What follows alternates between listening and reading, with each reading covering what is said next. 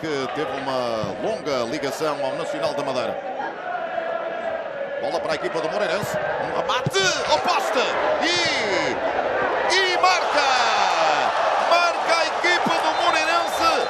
Alguma felicidade de André Luiz e a fazer o empate no segundo minuto da segunda parte. O Moreirense empata por André Luiz, o melhor marcador da equipa.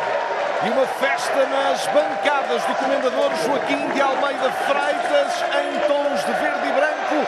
O xadrez verde e branco volta aos gols em casa. Um gol que para já vale naturalmente o empate. Não poderia desejar melhor entrada neste segundo tempo. Paulo Alves que viu num primeiro momento a sua equipa e a sorte do Moreirense esbarrar ali no poste direito da baliza de Niasse e depois